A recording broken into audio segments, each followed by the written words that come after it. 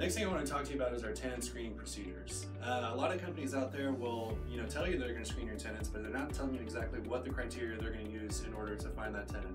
Uh, we have a great eviction rate, less than half of a percent of our tenants get evicted, and it's due to these screening criteria.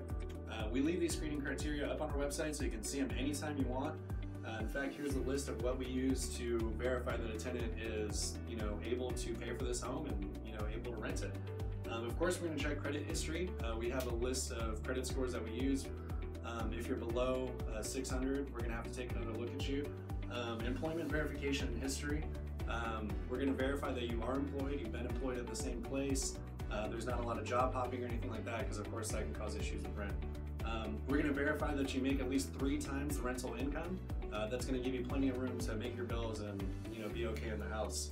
Uh, we're also going to talk to your past landlords. We're going to make sure that you paid on time, left the place in good condition, uh, weren't causing any problems or anything like that. Uh, next, of course, we'll check your criminal background. If you have a bunch of felonies or you know on probation, stuff like that, uh, you're probably not going to be renting from us. Um, of course, we're going to check the terrorist uh, database. We don't want any terrorists in our home, so we check that database every time. Um, and then, of course, we're going to uh, screen your animals as well. If you want to bring pets into one of our homes, we're going to make sure that the pet is a good tenant, just like you are a good tenant. Um, last thing that we don't even have listed on here is that we'll also do a social media check.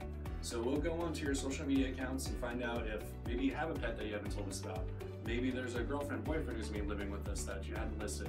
Um, so we'll find these things out by doing that. Um, we have a great tenant screening process in order to ensure that we're letting only quality tenants into your home.